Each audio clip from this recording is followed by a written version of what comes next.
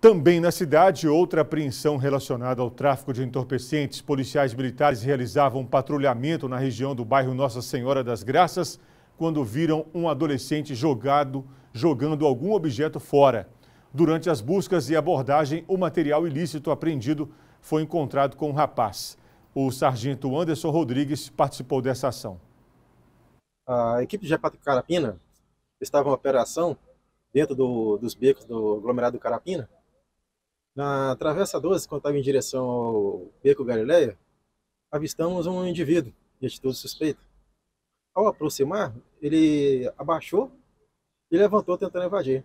De imediato, esse menor de idade foi abordado e próximo ao mesmo foi encontrado uma caixinha.